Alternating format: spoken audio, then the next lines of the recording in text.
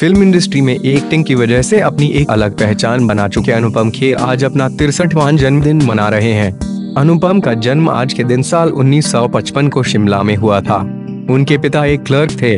अनुपम शिमला के DAV school से पढ़ाई कर रहे थे और इसी दौरान उनका इंटरेस्ट एक्टिंग की ओर इस कदर बढ़ा कि उन्हें मुंबई आने से कोई नहीं रोक पाया। अनुपम खेर ने अपने जीवन के 31 साल बॉलीवुड इंडस्ट्री को दिए हैं। उन्होंने करीबन 500 फ़िल्मों में काम किया है। उन्होंने हिंदी के साथ साथ अन्य भाषाओं की फ़िल्मों में भी काम किया है।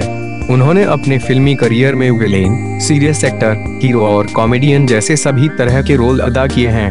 अनुपम खेर को हिंदी सिनेमा में अपने बेहतरीन कार्य के लिए भारत सरकार की ओर से पद्मश्री भी दिया जा चुका है। उन्होंने अपने फिल्मी करियर में कई सुपरहिट फ़िल्मों में काम किया है। सफलता किसी को आसानी से नहीं मिलती है, ऐसा ही कुछ अनुपम खेर के साथ भी हुआ था। अपने शुरुआती दिनों में उनके पास खाने तक के पैसे नहीं हुआ करते थे और उन्हें प्लेटफॉर्म की बेंच पर सोना पड़ता था, लेकिन उनकी कड़ी मेहनत से उन्होंने आज अपना नाम बॉलीवुड के सफल अभिनेताओं में दर्ज करवाया है।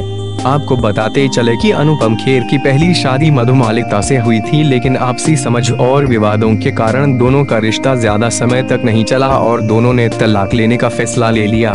इसके बाद उन्होंने साल उन्नीस सौ पचासी में अनुपम ने किरण खेर से दूसरी शादी की थी।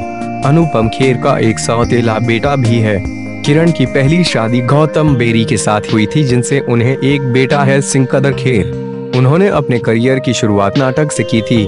नेशनल स्कूल ऑफ़ ड्रामा में अनुपम कई प्ले का हिस्सा रह चुके हैं। इसके बाद उन्होंने साल उन्नीस सौ बयासी में रिलीज़ हुई फ़िल्म आगमन से अपने फिल्मी करियर की शुरुआत की थी। इसके बाद फ़िल्म साराश ने उन्हें फिल्मी जगत में पहचान दिलाई थी। इस फ़िल्म में उन्होंने एक ऐसे रिटायर्ड आदमी का किरदार निभाया था जिसने एक प्लेन क्रैश में अपने बेटे को खो दिया है।